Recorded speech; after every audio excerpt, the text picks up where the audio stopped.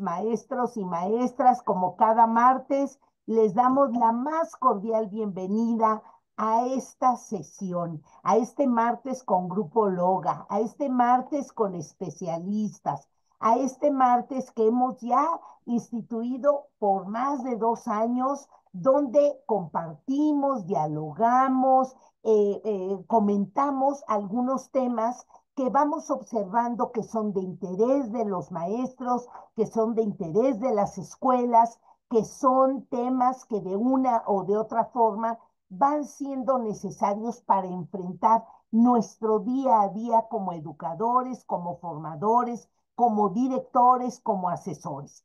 Y como ustedes lo han venido observando, el mes de febrero lo destinamos a pensar juntos el tema de las neurociencias del neuroaprendizaje. Y queremos cerrar este mes con una reflexión que nos va a acompañar la maestra María Guadalupe con en el sentido de cómo cambiar un modelo de aprendizaje centrado en la información a un modelo que amplíe estos horizontes de que el niño aplique, transforme, transfiera lo que aprenda a situaciones cotidianas. Con esto queremos terminar el mes de febrero. Les damos la más cordial bienvenida. Como siempre les decimos, por favor, utilicen el chat para decirnos de qué entidad nos acompañan. Fíjate, Lupita, ahora nuestra experta, que nos acompañan a veces de ocho, de nueve, de once entidades diferentes, cosa que nos da muchísimo gusto porque nos permite conocer esta radiografía, estos rostros de las maestras, de los maestros mexicanos. Y hoy nos va a acompañar la maestra María Guadalupe con Villegas. Ella, déjenme decirles algo de su resumen curricular. María eh, Lupita es socióloga con especialidad en trabajo, maestra en ciencias de la educación, con estudios en educación, educación superior y estudios latinoamericanos, certificada como evaluadora de estándares de competencia, impartición de cursos, evaluación y consultoría general. Ha diseñado diversas normas y acreditaciones para instituciones educativas y empresas. Colabora como ponente y tallerista internacional en diversas organizaciones, certificada en desarrollo de programas sociales del Banco Interamericano de Desarrollo. También es fundadora y directora asociada de BAEDI SC, que desde 2000 uno colabora en la autogestión de organizaciones para su mejoramiento y aprendizaje permanente. Qué importante que las organizaciones y las escuelas lo son. Aprendamos de nuestra logística, de nuestra gestión, de nuestros liderazgos, de nuestra forma de organizarnos. Y esto por medio del análisis de procesos de gestión de conocimiento. BAEBI es un espacio colaborativo de formación con temas de interés para el desarrollo de comunidades educativas, la formación docente, el diseño curricular y la gestión académica, sobre todo la reflexión permanente sobre lo que las instituciones hacemos en pro de la educación. Pertenece a la Comisión Iberoamericana de Calidad Educativa, CICE, como parte de su consejo académico, diseñadora de programas educativos, participa y ha participado en congresos, talleres y programas relacionados con educación, su prospectiva, la formación de maestros, desarrollo de planes y programas de estudio y de instituciones educativas y del futuro posible en la educación, que es el último documento que se organizó un poco para dar estas pistas de cómo debe de ir la educación. Colabora con organizaciones como Tominsin, Egiptanos y Voice Intempore en diversas actividades relacionadas al desarrollo de actividades culturales, académicas y además hace voluntariado en una enorme cantidad de espacios. Lupita, agradezco infinito que estés aquí, que con esa calidad humana que te caracterice, compartas hoy con los maestros, cerrando este mes de las neurociencias, cómo cambiar un modelo de aprendizaje de información por uno de aplicación de lo aprendido. Qué difícil nos ha sido a los maestros con esta enorme cantidad de presiones que tenemos de terminar con los programas, de rellenar los libros, de eh, ocupar muchas hojas del cuaderno, que verdaderamente cambiemos esta forma de trabajo. Pues para que tú nos des pistas y de cómo hacerlo, te dejo en el uso de la voz con este grupo de maestros que hoy nos acompañan. Gracias, Lupita, por estar hoy aquí. Muchísimas gracias por la invitación. Desde que la recibí he estado muy emocionada estudiando y preparando algo para compartir. Eh, ya sabes, me conoces bien, hemos viajado mucho juntas en estos espacios educativos. Y bueno, tenemos muchos amigos en común y de hecho, oye, es un honor que me toca cerrar el mes, lo cual es un poco, eh, bueno, hacer el resumen de todo. Pero bueno, solo como anécdota, eh, estuvo por ahí Josefa, no sé, fue la semana pasada, ya me hago bolas, pero bueno, estuvo con ustedes. Y bueno, dejen decirles que en esta historia de la neurociencia, en la cual ella tiene una experiencia amplísima, eh, bueno, cuando yo tenía, yo calculo que tenía entonces como 40 años, más o menos 40 y tantos años, tuve que aprender a gatear. Y me vieron en su oficina, que entonces tomaba yo cursos con ella, trabajaba con ella, eh, y me dijo, pues tu problema es que tu cerebro no se acaba de conectar porque no aprendiste a gatear cuando eras bebé. Y pues así me puso hasta que aprendí a gatear y me dijo, ahora sí vas a poder conectar tus hemisferios y vas a poder trabajar y desarrollarte mucho mejor, lo cual verdaderamente fue cierto. Entonces, pues en este mundo de la educación siempre nos encontramos de una manera o de otra, siempre estamos conectados. Así que les agradezco a cada uno y a cada una de ustedes que están aquí, que nos acompañan esta nochecita para compartir. Y hoy no me escuchan a mí, seguramente mañana las escucharé a ustedes porque así es este mundo de compartir en los procesos educativos. Y bueno, para empezar, voy a compartir mi pantalla. Y por ahí, eh, a los que se inscribieron eh, hace algunos días, les llegó por ahí una pequeña lista de materiales.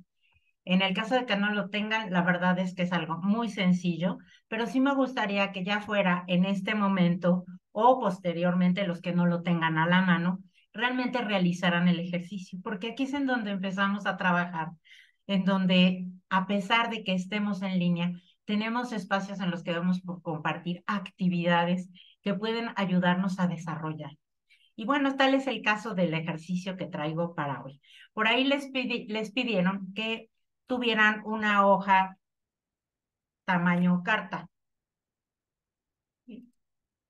Una hoja tamaño carta por ahí, ¿sí? Y bueno, lo que vamos a hacer primero, antes de pasar a las preguntas, yo ya me adelanté, ya hice la tarea antes, pero la idea es que la doblemos en tres de un lado y luego la volvamos a doblar en tres del otro lado.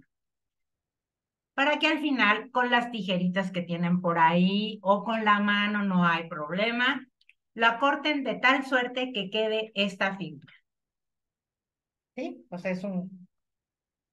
El hoyito ya lo pueden hacer con las tijeras o le hacen un doblez y lo recortan con la mano. Entre más manual hagamos las cosas, mejor le funciona a nuestro cerebro. ¿no? Yo, entre otras cosas, soy zurda, entonces las tijeras siempre me costaron trabajo.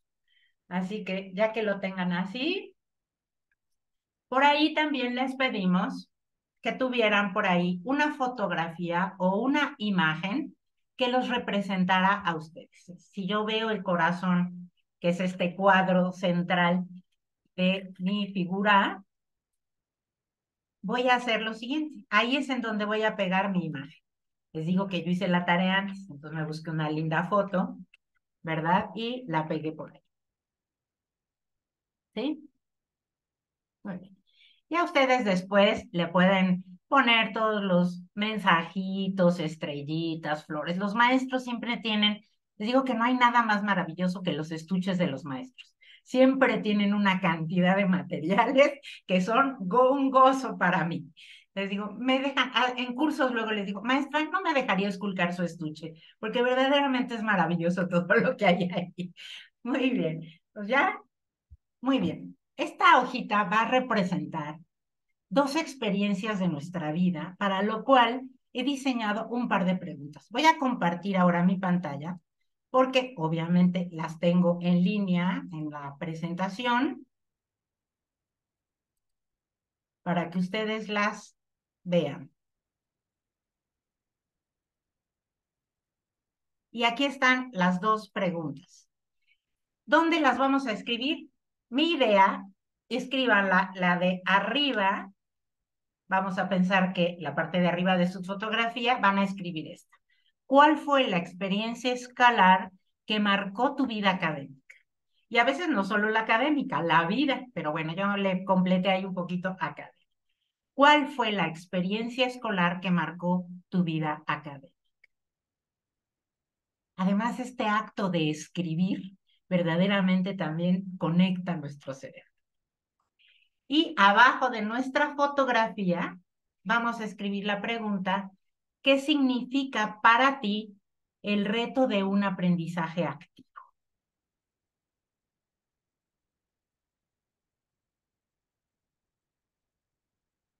Muy bien, ahí tenemos en nuestro equipo, todos tenemos unas manitas para decir que ya estamos listos. Entonces me encantaría poder verlos. Voy a redimensionar para poder ver que todos los que ya hayan escrito sus preguntas y ya tengan su cuadrito, si ponen su manita para arriba para que yo pueda ver y no dejar a nadie por ahí eh, muy bien, la maestra Patti ya puso su corazón que la representa. Y sí, creo que te representa bien. Eres un gigante corazón. Muy bien, Elsa, muchas gracias. Carla, muy bien. Acá en las otras páginas voy revisando. ¿Alguien más? Gracias, Delfino. Muy bien.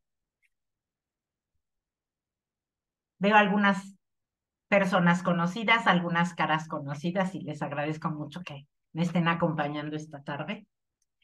Muy bien, entonces con estas dos preguntas vamos a darles 30 segundos para contestar la primera.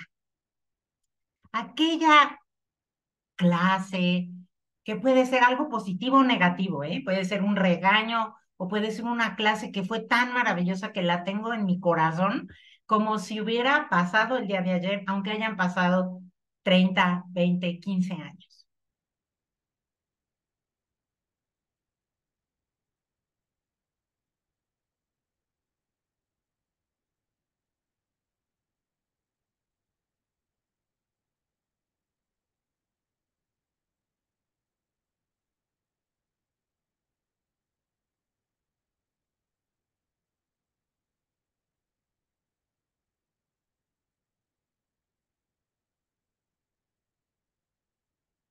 Olivia, ¿ya estás lista?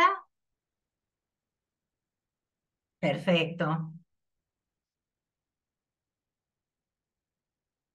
Edith, ya estamos listas. María del Pilar, Rosa María.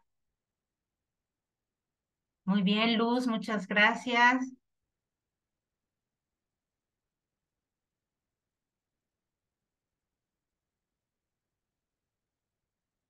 Muy bien. Bueno, vamos a quedarnos con esta respuesta. No es para mí, esta respuesta es para ustedes.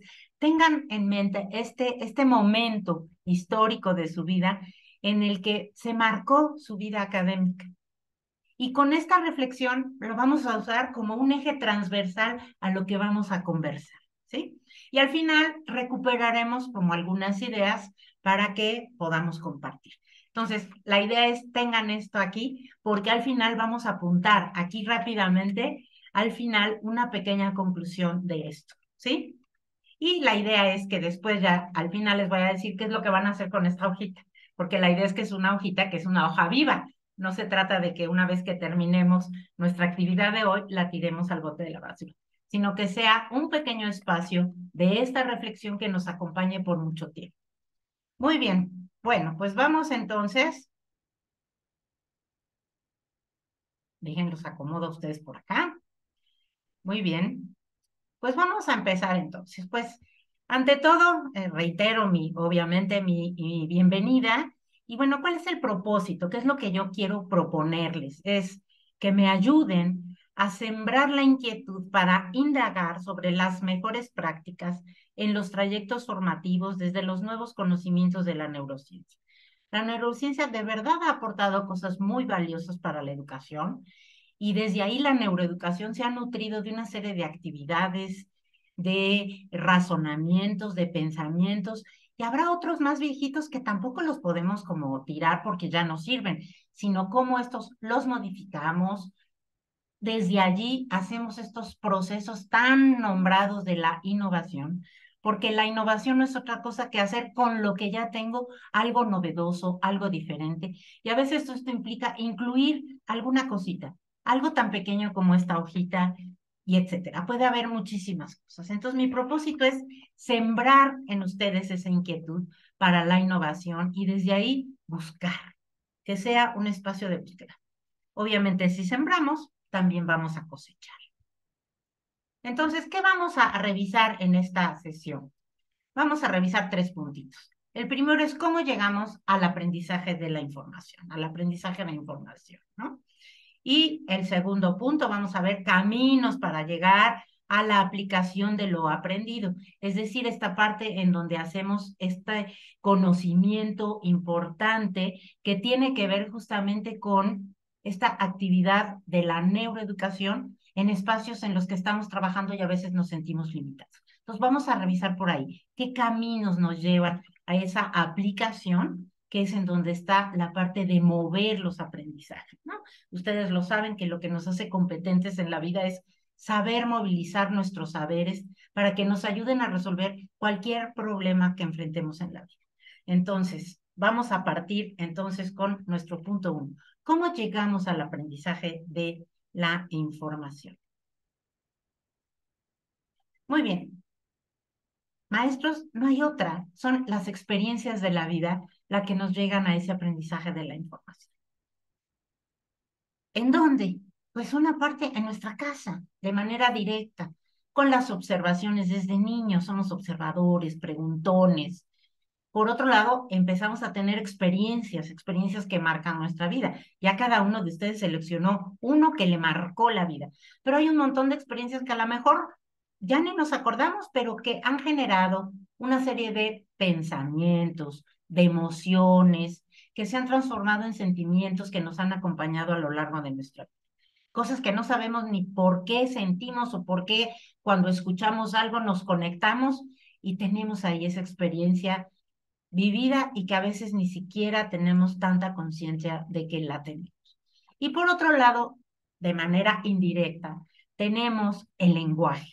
Todos aprendimos a, a, hablar en un momento dado, desarrollamos una serie de lenguajes que nos fueron ayudando a conformarnos como lo que somos hoy en día, pero también tenemos los textos. Ojalá nuestros niños leyeran miles y miles de cuentos, porque el cerebro no distingue entre la realidad y todas esas historias se van siendo parte de nuestra experiencia vital y es muy importante tenerlas. Como adultos, la lectura, garantizada de que si leemos no envejecemos tan rápido y tenemos muchas más probabilidades de no tener eh, Alzheimer, demencia senil, etcétera, etcétera. Entonces, la lectura, los audios, hoy que están tan de moda, oigamos cosas, sí, también se vale descansar y entrarle por ahí al YouTube y al Instagram y los shorts, estos famosos que nos puede pasar la vida entera ahí, pero que también tengamos los audios valiosos, los audiolibros, eh, podcasts que ahora hay de verdad interesantes sobre muchos temas en los que podemos ir reflexionando y creciendo. Eh, chats en los que nos podemos inscribir y nos ayudan a reflexionar sobre nuestra propia vida, etcétera. Y bueno, por supuesto, las presentaciones, todas las conferencias, pláticas, charlas que uno pueda escuchar, tomar notas, apuntar, escribir. Recuperemos ese milagro de la educación donde solo se necesitaba un lápiz y un cuaderno, un papel, ya ni cuaderno, un papel para poder aprender. Y por supuesto, maestros, algo muy importante, plática. En la plática es donde entendemos la lectura, en la plática es donde empezamos a comprender las situaciones en las que vivimos. Entonces, esta parte es esta donde así fue como llegamos a, a la información que hoy tenemos.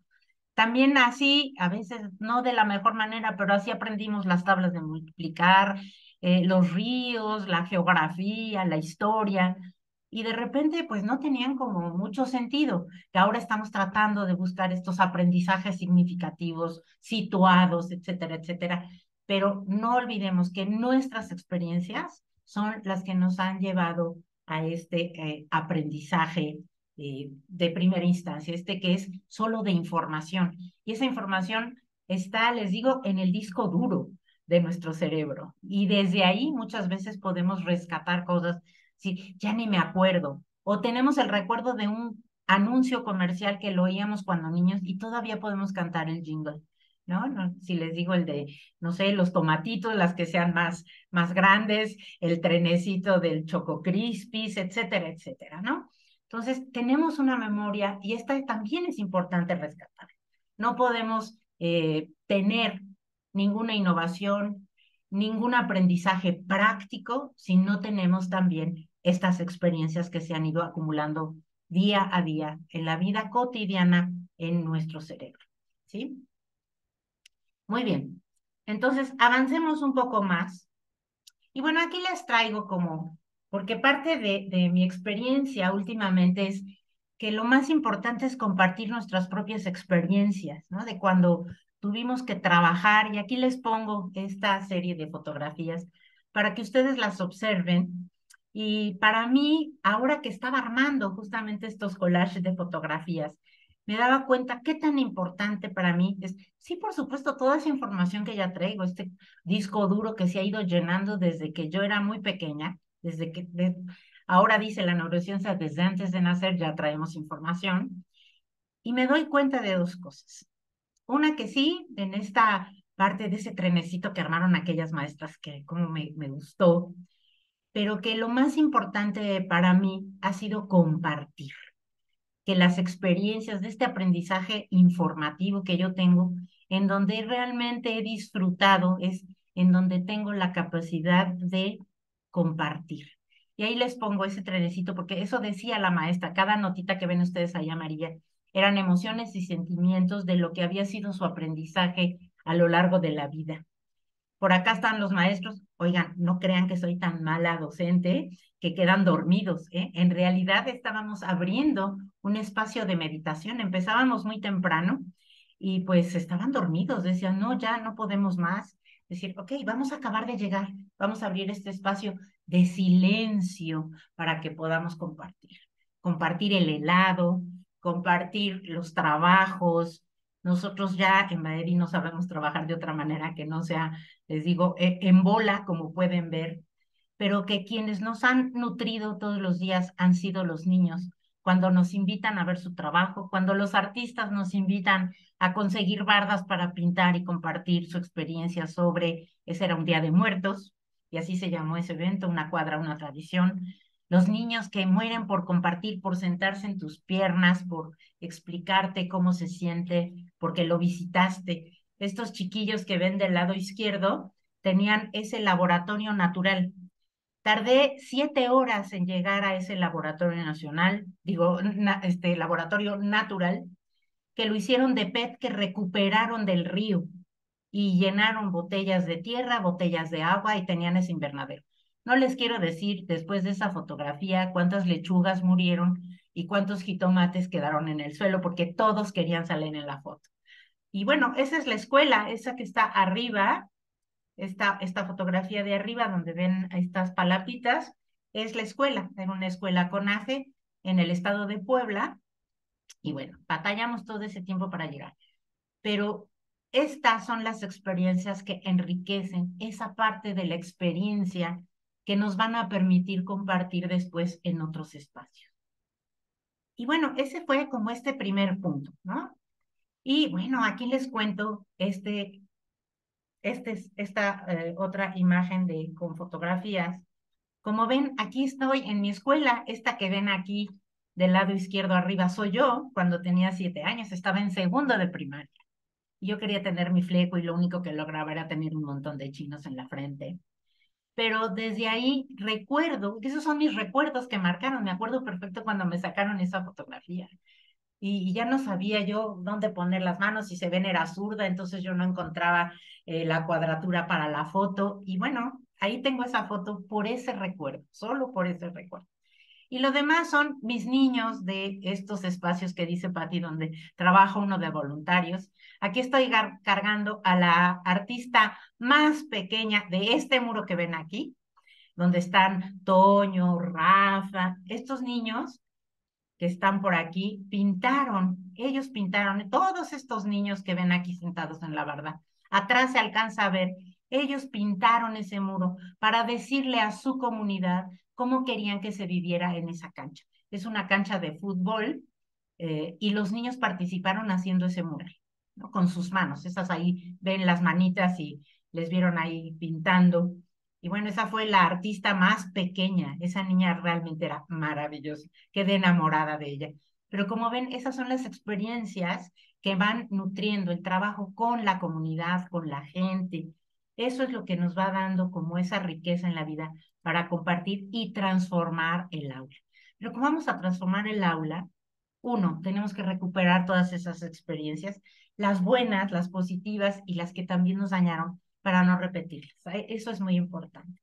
Entonces, caminos para llegar a la aplicación de lo aprendido, es decir, cómo vamos a movilizar esos saberes para que verdaderamente tengan esta connotación que estamos buscando de que sean realmente significativos, situados, en contexto desde la neurociencia, considerando todo lo que podamos. Por eso necesitamos esta información. Y si alguien la tiene, acá entre nos, son los maestros, porque tienen esa experiencia, tienen la vocación y tienen algo muy importante, el corazón con el que hacen ese trabajo.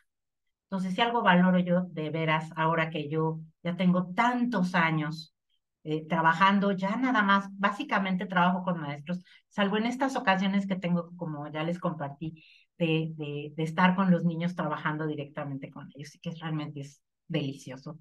Entonces, descubrimos cuáles son estos descubrimientos recientes de la neurociencia en el aprendizaje, en esta parte activa, ¿no? Que es lo que andamos buscando en esta, en esta sesión.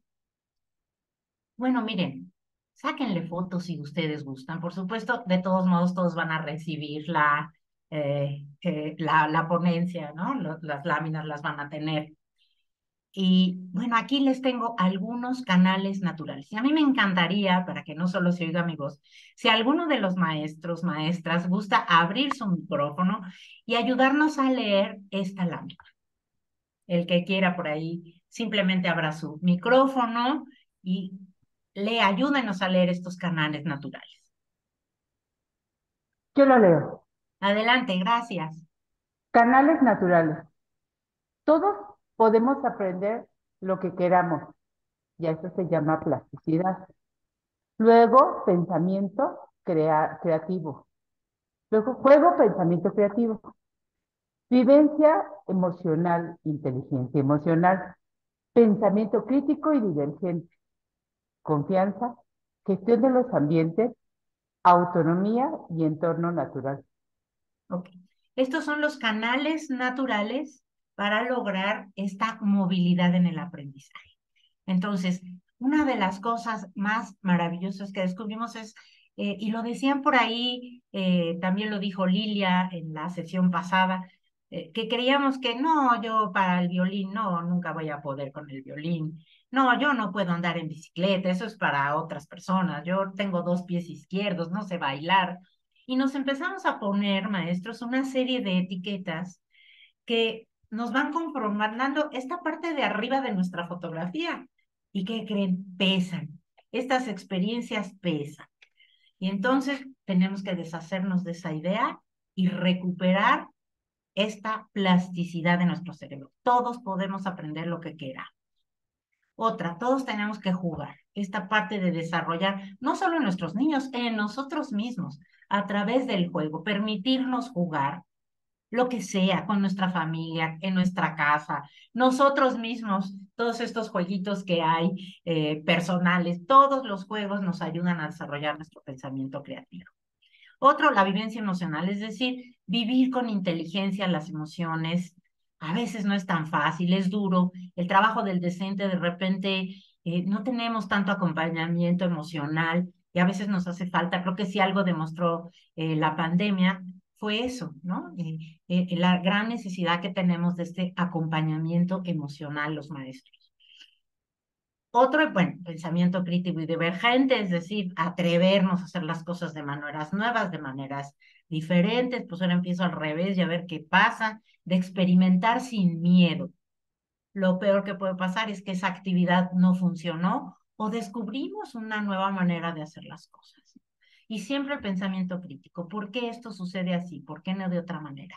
Las bitácoras docentes en este sentido del pensamiento crítico es cuando nos volvemos a releer encontramos nuestras vulnerabilidades, las cosas que nos sale bien, descubrimos más cosas de acá arriba. ¿Por qué no me gustan las matemáticas? Porque desde niña me dijeron que eran difíciles, que eran para gente inteligente, yo no me consideré inteligente.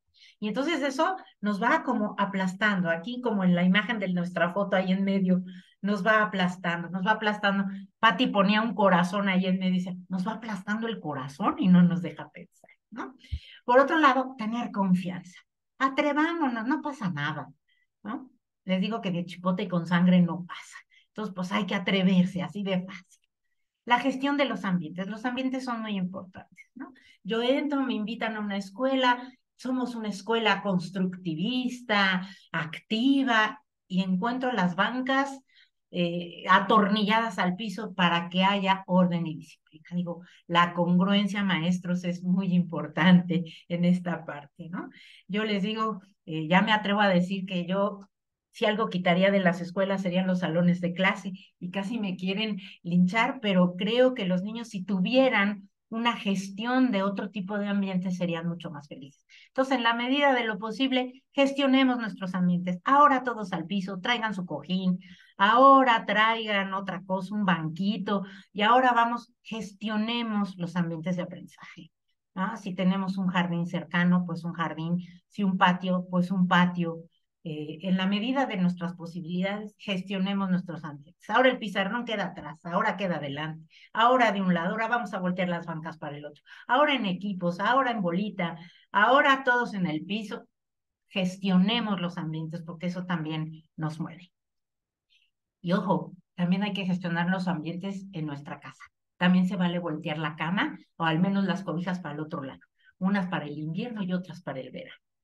La autonomía, es decir, y ahora con toda la nueva escuela mexicana, si algo estamos queriendo desarrollar es que cada maestro tenga esa autonomía de decidir que sí, que no, este tema no, pero este doble, porque lo necesitamos, porque es el espacio de nuestra comunidad que lo requiere, atrevámonos también a disfrutar con todo lo que implica de responsabilidad, de vulnerabilidad, estos espacios de autonomía.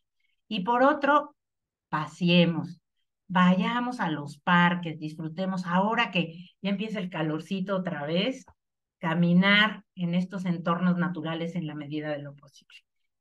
Así como ahora en las ciudades de repente nos sorprende ver la luna llena, este, ver que se alumbra eh, el patio de nuestra casa con la luna, disfrutemos también ese entorno natural que siempre nos envuelve. Y si no, pues salgamos a buscar. Se va a ir de picnic. Chapultepec es bastante grande, tenemos uno de los parques más grandes de América Latina, pero también tenemos los pequeños parques que también es un trabajo, yo creo, importante recuperar esos espacios. Vuelvo a la pandemia, pero si algo nos dejó la pandemia es la necesidad tan grande que tenemos de espacios naturales, abiertos, donde se pueda disfrutar del aire, del sol, etc. Entonces, bueno, esto es muy importante. Aquí les dejo estos canales naturales que desde la neurociencia nos permiten movernos y sobre todo, maestro, acuérdense, todos podemos aprender lo que queramos. Lo más extraño, y vean, los maestros, y aquí pongo, ahora trabajo más con maestros, entonces traigo más fotos de maestros, pero mírenlos aquí, jugando, aprendiendo, por supuesto, también tuvimos la que se cayó y pobre, le duró el dolor de cadera toda la semana del taller. Pero los maestros, con tal de pararse, esto ya no se vio aquí, pero se tienen que ver, ustedes deben haber hecho ese ejercicio que cada vez se dobla la hoja y solo tienen que usar el cuadrito para subirse. Al final, vean, el maestro dijo, pues te cargo porque es la única manera de que quepa un solo pie en esta hojita, que ya para entonces será pues el tamaño de un zapato. Eh, los materiales educativos que son innovadores, busquemos, hay cantidad de materiales que se pueden eh, buscar y bajar. Aquí en esta que ven ahí, que son de estas de pipas, que le llaman limpiapipas, lo que estábamos jugando era armar el cerebro. De este cerebro que cuando tiene cosas positivas puede crecer y desarrollarse, y que cuando tiene cosas negativas le íbamos colgando cosas con unos clips y de repente los cerebros se caían, ¿no? O los cerebros se fortalecían porque pues así los habían armado. Meter un lápiz con todos estos, ustedes no lo aprecian ahí, pero en medio hay una botella que sí se ve y un lápiz amarrado con cinco hilos. La idea era que nos teníamos que coordinar todos para meter el lápiz dentro de la botella. Por supuesto, esto implica el trabajo de colaboración, de escuchar al otro, de confiar, de que todos somos capaces de hacer las cosas. Y bueno, si ven al final ya la fotografía del taller, yo ya no les digo, vean las caras de todos nosotros, ya no era la seriedad del final, sino el gozo del aprendizaje, ¿no? Ahí ya todos hicimos caras, poses, cada quien lo que, lo que pudo y sintió para demostrar cuál era la emoción que habían eh, adquirido a lo largo de esa semana de trabajo. Esto fue en, en Sonora, por allá cerca, cerca, cerca de la frontera.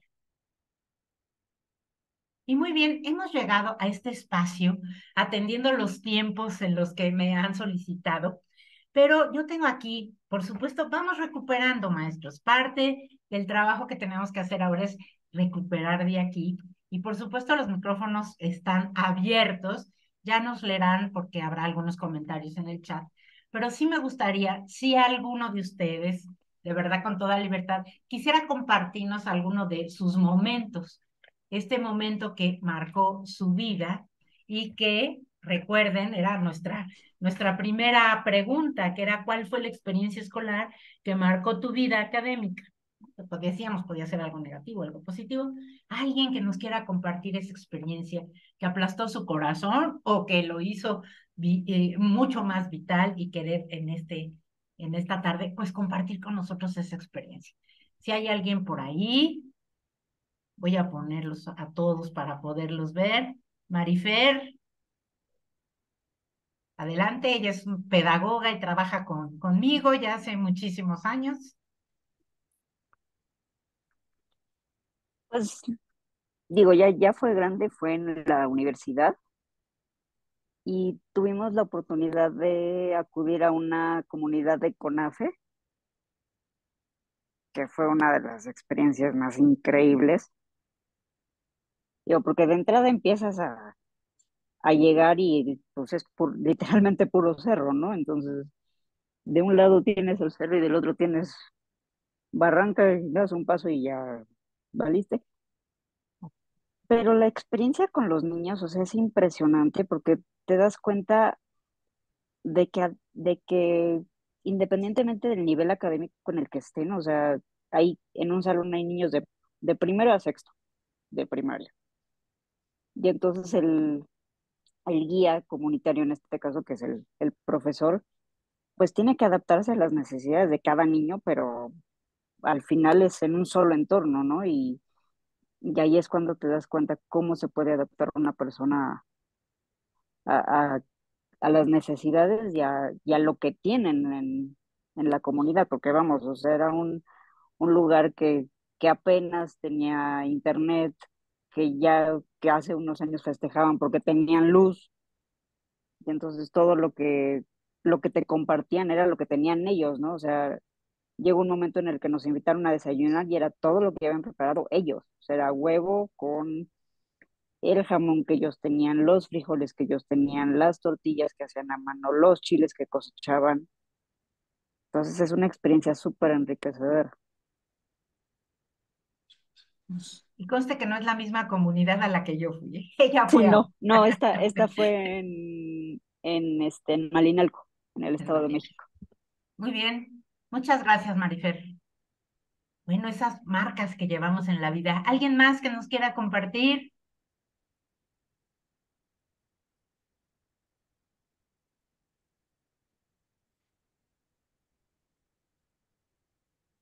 El que no pueda abrir su micrófono o, o algo, eh, también acuérdense que tenemos la posibilidad de compartir en el, en el chat. ¿no? Ah, Patti, adelante. Pues eh, fíjate, eh, Lupita, que a mí una experiencia mmm, escolar que me marcó para toda la vida es que yo tuve muchos problemas para aprender a leer y escribir, fíjate. Y luego deletreaba mucho eh, no tenía fluidez lectora, yo creo que esto me quedó como hasta el quinto año de primaria, entonces creo que genera o instala en mí un sistema de alerta, no, no podría yo saber qué pasó a nivel neuronal, digo, en ese momento pues vivía un poco la experiencia con angustia, pero me hizo para que yo pudiera ir pasando mis grados escolares, eh, como implementar otras estrategias que no estaban basadas en la lectura o la lectura en voz alta o eh, eh, formas de lectura y implementé otras maneras para aprender. Eso para mí fue muy importante, marcó mi vida porque me hace tomar como las riendas de mi propio aprendizaje, fíjate para mí ha sido importantísimo. Luego eso ya en la normal y ya habiendo superado el problema de la lectura, eh, me, me, genera como ya eh, buscar explicaciones de qué era lo que había sucedido. Y por supuesto, ya como maestra me hace mucho más sensible a que no todos los niños aprenden de la misma manera, no todos usan el mismo canal, no todos te manifiestan sus problemas o sus dificultades, que hay niños que se avergüenzan más de no poder avanzar al ritmo de los demás. Entonces me parece que a mí eso me marcó y me sigue marcando el resto de mi vida. Claro, con una experiencia de vida que se traduce en una sensibilidad especial frente a las necesidades de aprendizaje de, de los niños, de los maestros, de, porque todos hemos vivido eso, ¿no? E, esa parte que les digo de cuando yo era chica y era zurda, este, costaba trabajo. En aquella época que yo era niña no había bancas para zurdos. Entonces siempre te dolía la espalda, te dolían los dedos de recortar y uno va como sobreponiéndose a eso para compartir y entender también qué significa en la vida todo esto, ¿no? Por algo hay el Día Mundial del Zurdo. Muy bien, muchas gracias, Patti. ¿Alguien más que nos quiera compartir? Hola, yo soy Norma. Gracias, Norma. Adelante. Bueno, eh, admiro mucho a la maestra Patti y escucharla, pues me anima a participar y decir Ay, muchas que, gracias. que cuando llegué yo estudié en la UAM y el primer trimestre que cursé, llevaba un, yo una formación muy deficiente, muy deficiente. Y recuerdo que en la materia de historia, pues la maestra me preguntaba y me preguntaba y yo, no daba una. o sea, pues me da pena decirlo, pero o sea, ni siquiera podía entender que la diferencia entre la revolución y la independencia de México, así de, de mala era mi formación. Y bueno, pues eh, al ser consciente de eso, de que llevaba una formación tan deficiente, pues me apliqué y pude superar en algún momento un poco las deficiencias. Pero hoy como maestra, yo me preocupo mucho por esos niños. Que o sea, que digo, este es el espacio donde van a aprender, porque en casa no hay apoyo, no hay a lo mejor los materiales. Entonces yo como maestra estoy muy comprometida a que todos los niños en mi aula caminen. Y eso yo creo que es lo que me ha formado toda la vida. Y me da mucho gusto participar con ustedes. Muchas gracias, Norma, por tus palabras. Y qué importante esa experiencia cuando uno, fíjate, ese espacio que tú estás compartiendo es uno de los más valiosos en la vida.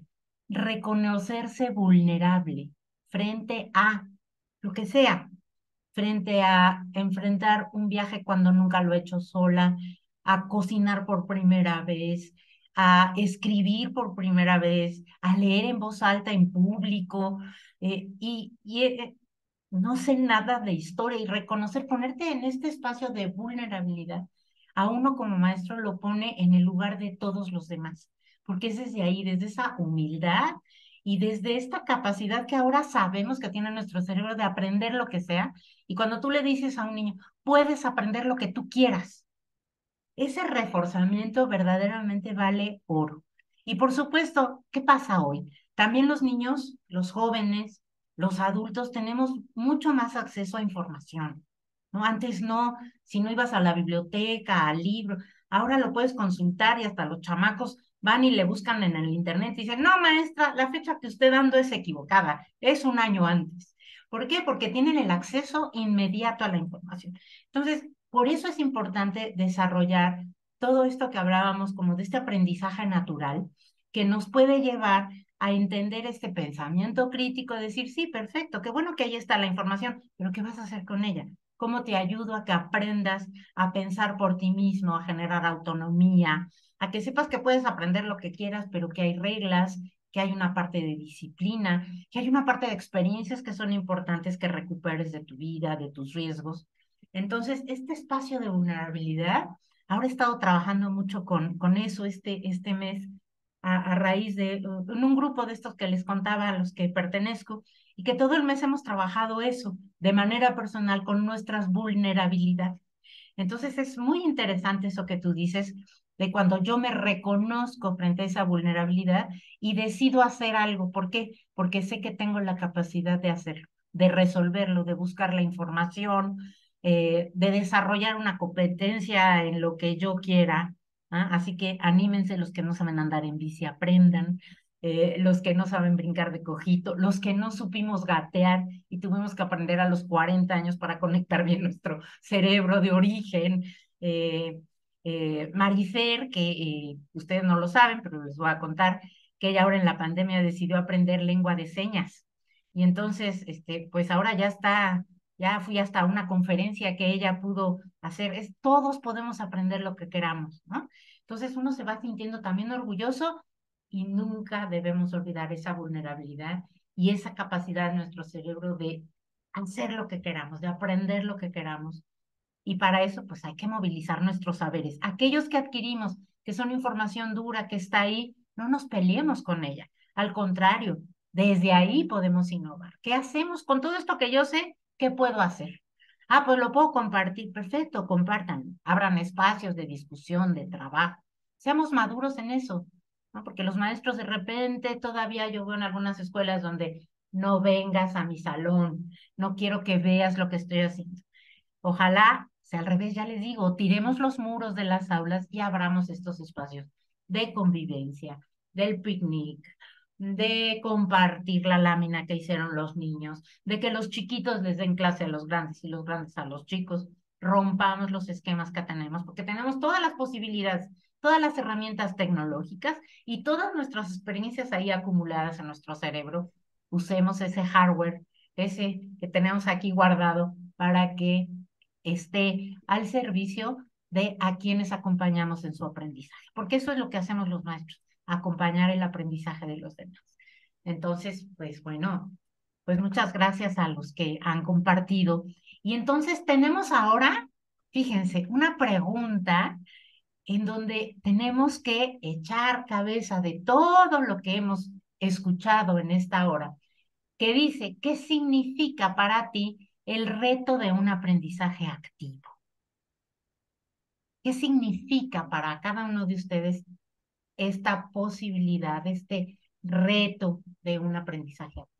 Y eso lo vamos a escribir en la parte de abajo, como un reto.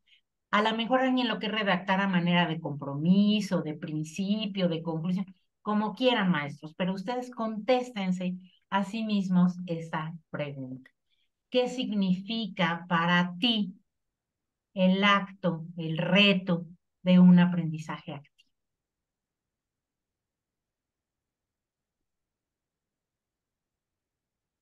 Y bueno, hoy es martes, así que por último, en estos dos espacios, en el del lado izquierdo y en el del lado derecho, vamos a apuntar de este hardware que decimos, de toda esa información que tenemos guardada acá en nuestro cerebro, ¿cuál alguna cosita que queremos rescatar, innovar con ella y convertirla del otro lado de nuestra hojita en un aprendizaje activo. ¿Qué le vamos a agregar para innovar en este aprendizaje activo? ¿Sí?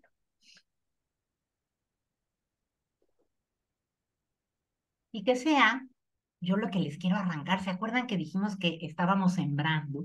¿No? Que mi interés era que sembráramos la cosecha tiene que haberla, maestros.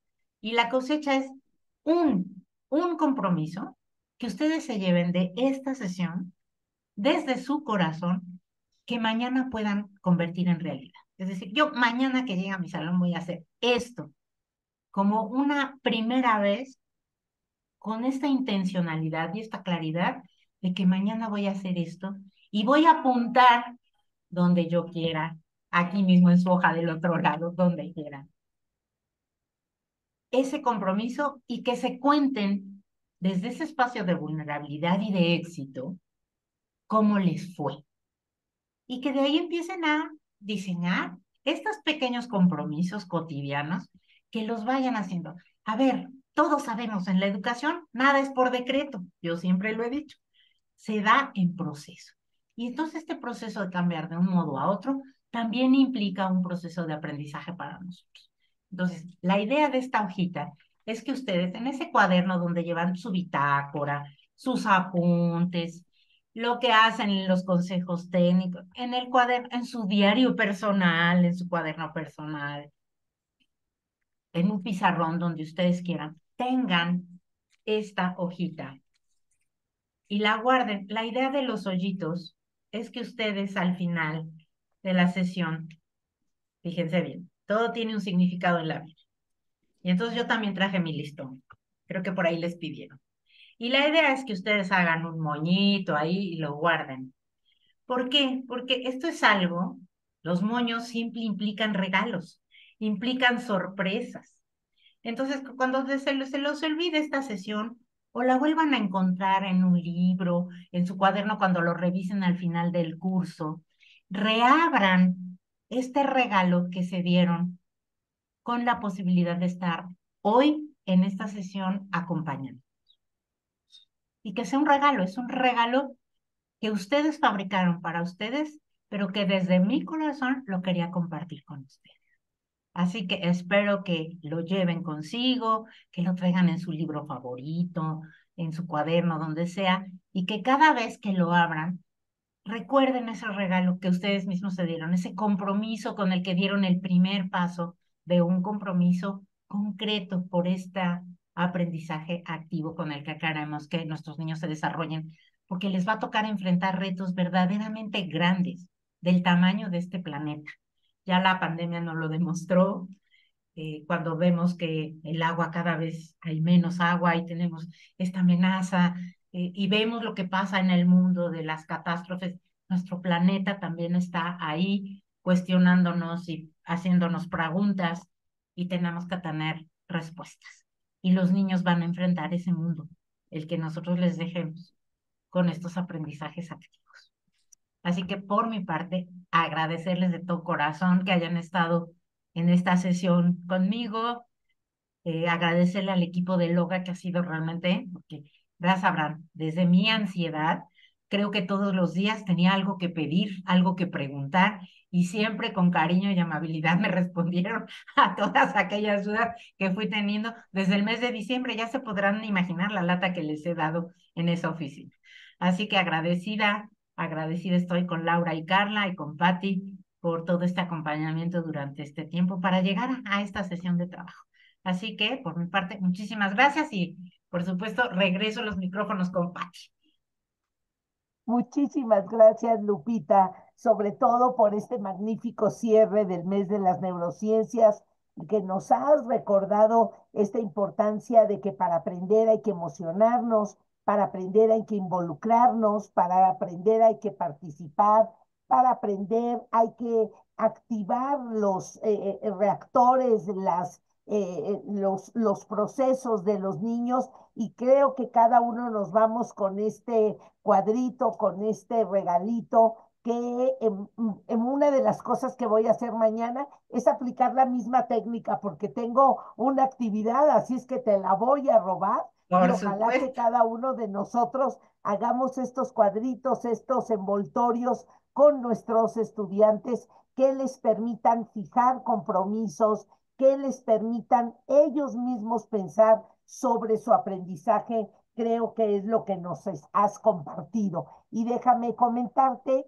que el día de hoy, por lo menos de los maestros que nos dijeron de dónde nos acompañan, hay maestros del estado de Hidalgo, del estado de Colima, de Ciudad de México, de Nuevo León, también nos acompañan, de San Luis Potosí, los que pudieron decirnos en el chat de qué entidad nos acompañan. Muchas gracias, maestros y maestras, muchas gracias, Lupita, y que con esta relación eh, y este listado de estrategias podamos pensar cómo activar esta participación de nuestros estudiantes. Muchísimas gracias, Lupita. Gracias a todos, maestros. Y como siempre, saben que este video se les manda, que hay muchos más videos en la página para que ustedes los aprovechen y también la presentación de la maestra Lupita para que ustedes puedan sacar alguna información más, puedan recordarla,